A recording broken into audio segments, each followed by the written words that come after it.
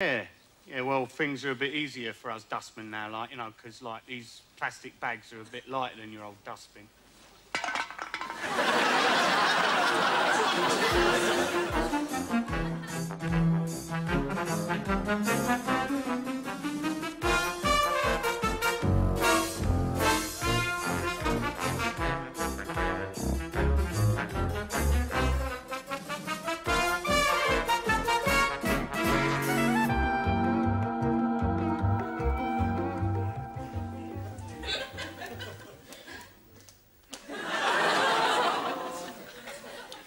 Tortoise. Terrestrial member of the reptilian order Chelonia. The tortoise is protected by a casing of horn-covered bone, and they vary in size from just a few inches to several hundredweight. And it has been known for the tortoise to have a lifespan in excess of 200 years. But perhaps the most interesting fact about the tortoise is their insatiable and instinctive desire for bonking. Since they crawled out of the oceans all of those millions of years ago, the tortoise has evolved into the most productive and efficient sex machine in the animal kingdom. Just put a male tortoise next to a female tortoise, and within seconds the male will mount the female in the simmering fit of unbridled tortoise passion.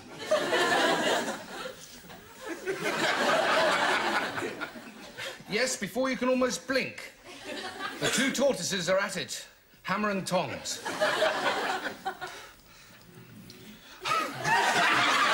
Once the male smells the alluring scent of the female, his sexual organs become aroused and mating is imminent.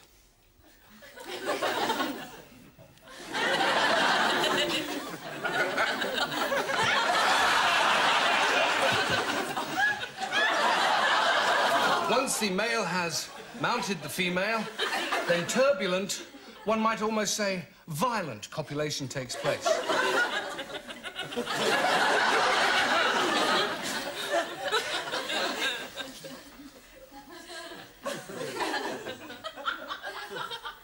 Identity is a problem with the tortoise.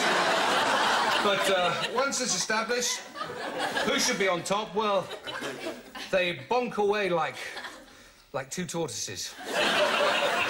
Copulation can last anything up to whew, 10 seconds.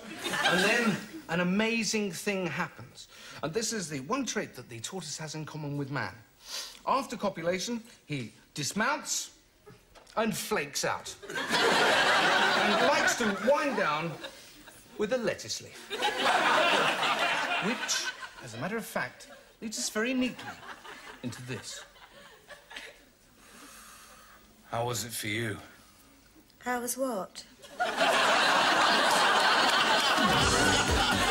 Fantastic bargains, incredible offers, and everything, yes, everything must go. This beautiful three-piece suite, this fantastic fitted kitchen, this superb hi-fi unit with matching cocktail cabinet, and everything must go, yes, everything must go to my wife. Everything must go to my wife because she's divorcing me, and she's divorcing me because I talk like this all the time. It's driving her around the twist. Incredible! And take a look at this, a matching pair of three-year-old children, hers whether I like it or not. So come round to my house today for the super once-in-a-lifetime divorce sale. Yes, you can lose it all at Decree Nyside. The whole thing was an absolute scream, and we hooted till dawn. And then last week it was even worse. We were dubbing a Yugoslavian film into English. Spanking Slavs, would you believe? For Peter. You remember Peter? The one with the earrings. Yes, that's right. And he turned to me and had the temerity to suggest that somehow the whole thing... Okay, loves. Hugo, Miriam, ready on the red light. Right, this? Yeah, ready, John. Right. Hot Six Kitten in Bangkok, English dub, scene seven, take one.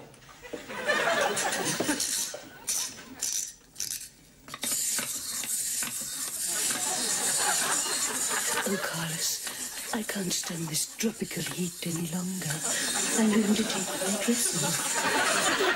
Let me do it for you, my darling. Oh, Carlos, faster, Carlos, faster. My dress is off. Uh, now for yours. Carlos, hurry, Carlos, hurry. I'm so hot. Mm, that's better. No. Kiss me, Carlos. Kiss me. Again, Carlos. Again. All over my body.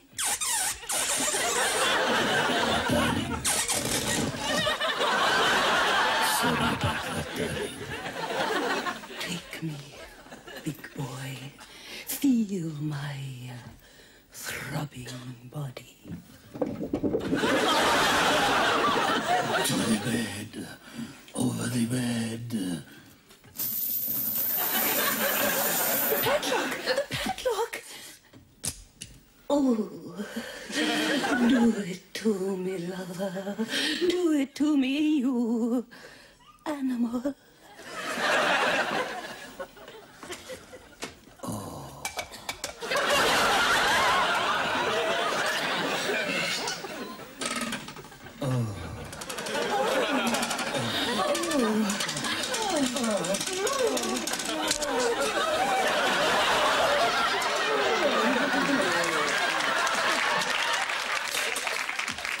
Me and Ron have just been sent another letter. Except this time I'm going to use it first.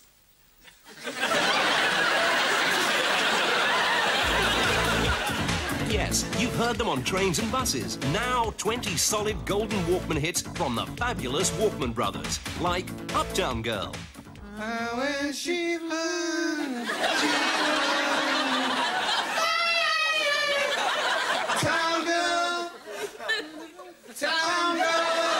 Sinatra did it his way. The Walkman Brothers do it their way. Final curtain of certain I did it. Sing along with the Walkman hits of the 80s. Lucky, lucky, lucky, lucky, lucky, lucky, lucky, The lucky. fabulous Walkman Brothers. And the beat goes on and on until the batteries run down. Lucky, lucky, lucky, lucky, lucky.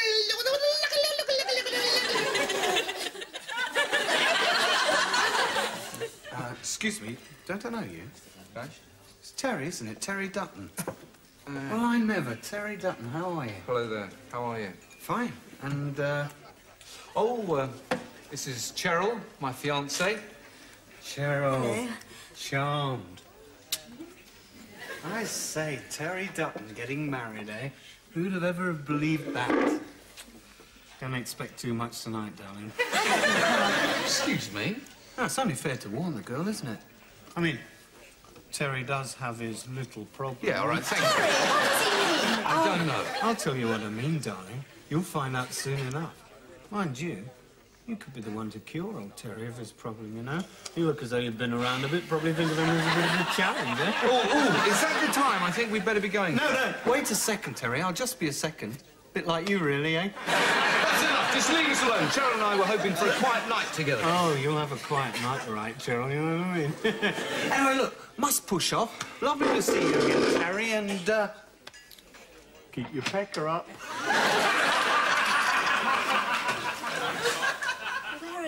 Do you know him from? He's been the family doctor for years. Are you sure that this is the one you want? Absolutely sure. Mm-hmm. Okay, we'll take it.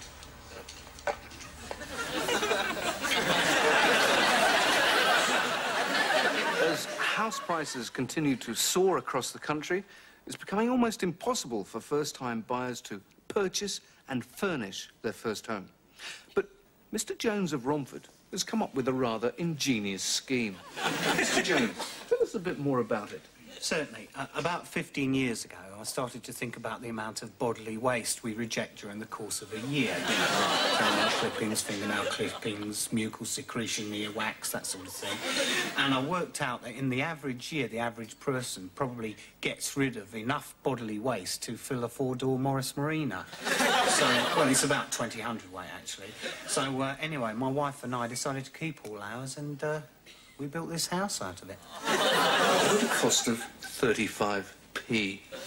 Mr. Jones, this living room carpet with the rather lovely Indian motif, what's it made from? Well, actually, my wife weaved that from the little curly hairs she found in our bed and in my underpants. Quite enchanting. It's, it's very, very wiry, isn't it? Uh, don't touch that bit, that's my wife's. Point taken. What interests me, Mr. Jones, is what are the main ingredients that went to create the walls and ceiling in this particular room? Well, this wall is actually made from a combination of earwax and toenail clippings, plus the little, little flaky bits of skin you get with athlete's foot, you know. And the binding agent was provided by my wife's rather severe bout of food poisoning. Gorgeous. Maybe you could give me the information here on how long it takes for perspiration and dandruff to harden to the consistency of this rather handsome coffee table. Ah, well, we were quite lucky in this case, um, in that my father-in-law donated to us the proceeds of his bronchitis. How generous. Well, people have been very generous. Uh, Mrs. Fitzpatrick across the road, for example, she had the, um, the operation. The, um, Yeah, that operation, yeah. and she gave it all to you? Yeah, she did, yeah. And what did you make out of it? You're sitting on it, actually. Unfortunately, time has beaten us again. So, from Mr. Jones and myself, good night. Do you want that? Sorry, I just swallowed it. Bastard. If you want the best, then don't fit this stuff.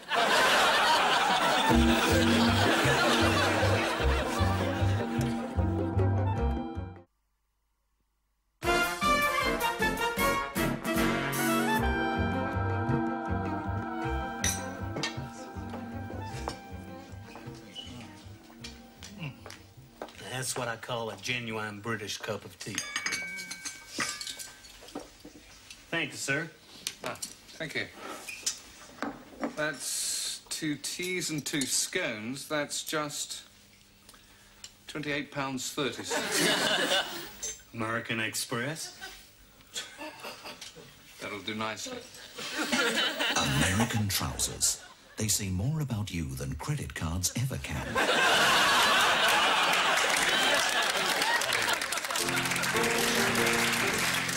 Look, listen to me, Lou. Listen. You just tell that son of a bitch to go straight to hell. Hey, can you come over here a minute? Uh, listen, Lou. I don't need this shit at the moment. Now, just tell me who's number one. Is it me or is it me? Yeah, well, just do it, fat man, and get back to me. Hey, Jack, I've written a new song for you. I think it could be a hit. Okay, give me the words. Give me the music. Uh, can I just sing it for you? Is that okay? Yeah, yeah. Just go ahead. Okay. For many years I tried to say that we don't get along. I never could say it to your face, so I wrote it in a song. That's a really nice intro there, Hank. That's good, yeah. A piano player's all I am, while you're a household name. Arrange them all, and you get the acclaim. Yeah, it's a really nice tune. You said you'd share success with me, but what you really meant was you take all the glory, all of the girls, and I just get 5%. Hey, these lyrics are really good. Yeah, I like the words. First chorus, Jack. Okay.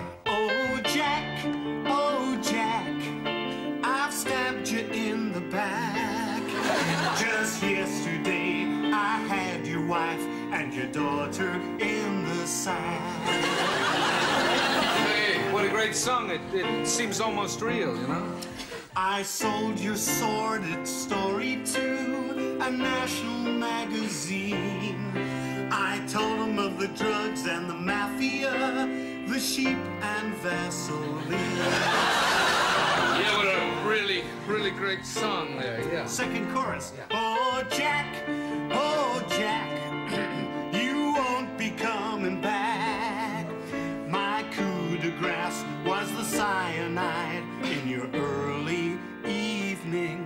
snack. So what do you think, Jack? Yeah, um, it's just something about that last chorus, you know, Hank. You okay, Jack? You looking a little wobbly on your feet there. No, no, I'm fine. Uh, yeah, uh, I just want to do something to that last chorus. Um, just play it again. Okay. Oh, Hank, oh, Hank, you've got yourself to thank. I swapped the cups round and it was the poison one you drank. Yeah, that's real good, Jack. Um, can we try it just one more way? Is that okay? Yeah, yeah, okay. Okay. yeah. Oh, for heaven's sake, we both made a big mistake. I may have drunk the poison tea, but you ate the chocolate cake.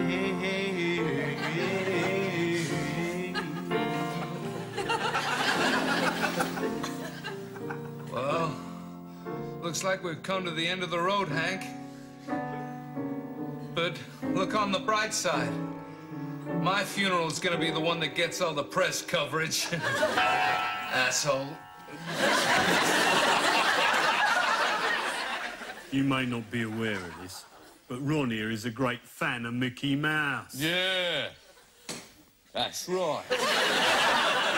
So if you think Mickey Mouse is stupid, Ronnie has got a message for you. Yeah.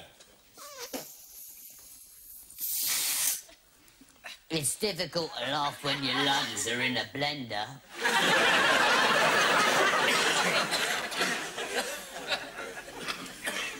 Your Majesty. Raleigh?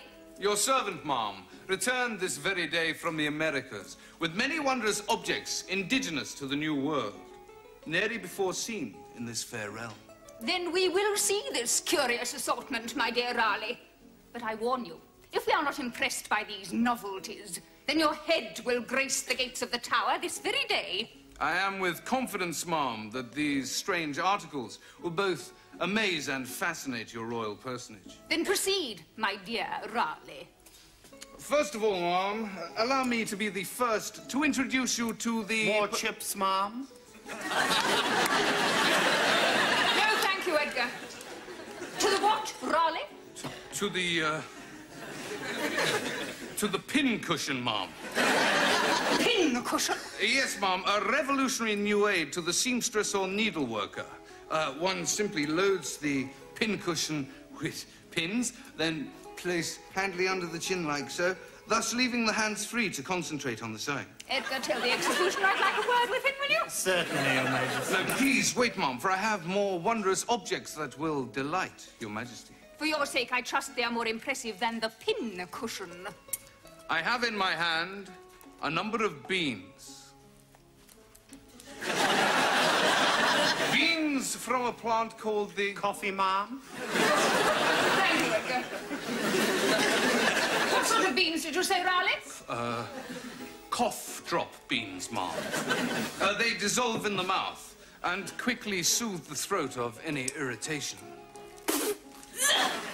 I fear it is your throat will be sorely irritated, Raleigh, if you continue to disappoint me thus so.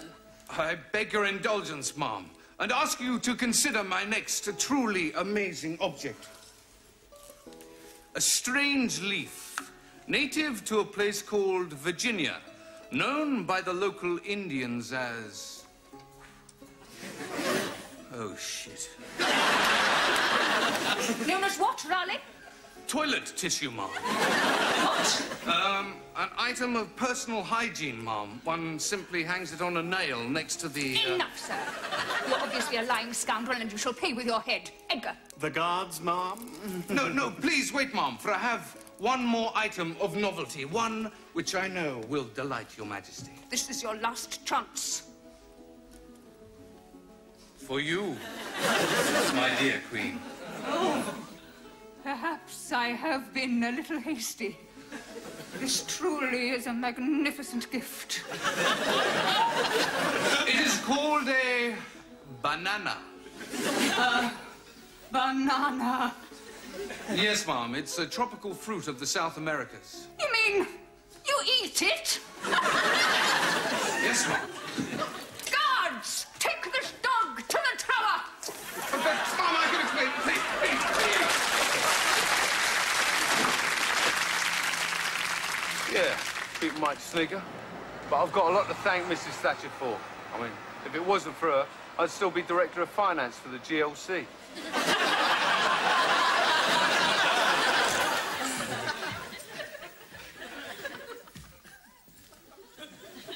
It was a cold and moonless night. In the distance, a wild dog howled. howled. Oh, sorry. No one heard the key turn in the lock or the heavy oak door swing open. I did. No one heard. the stairway echoed. Echoed, echoed, echoed. Would another victim fall prey to this strange, overwhelming force?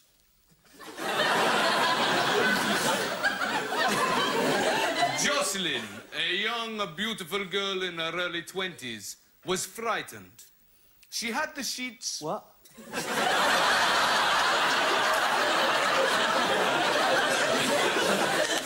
She had the sheets pulled over her face. Some kind of reassurance. Her mind churned. With the strange events of the last 24 hours. Sorry.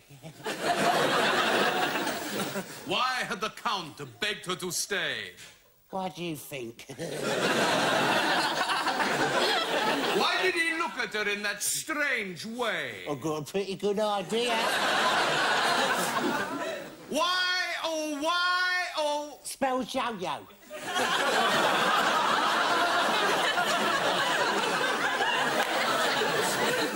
In the faint arc of light from her flickering candle, she saw the door handle move. Or was it her fancy? Ooh, fancy. No, very slowly the door pushed open. Hardly noticeable at first, but now a full eight inches.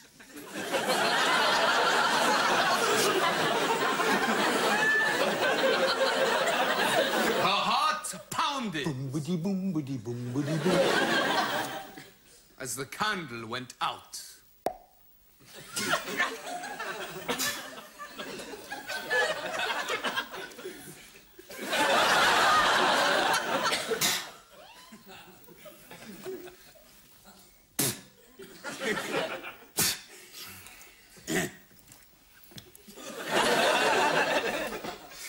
She was aware of a strange presence in her room. As she strained. As she strained to see, she could just make out a ghastly shadow. Ugh, it's Hank Marvin.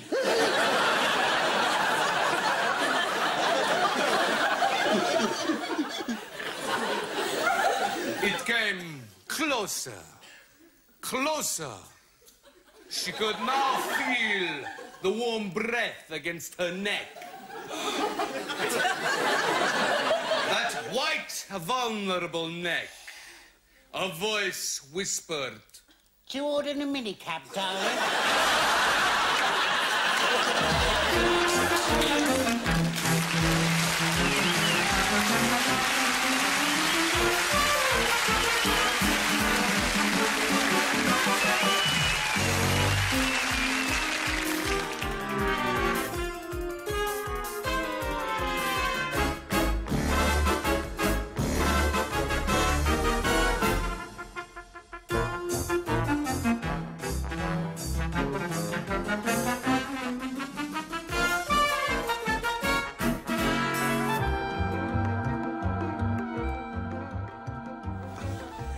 Yes, I suppose you could say I am appealing.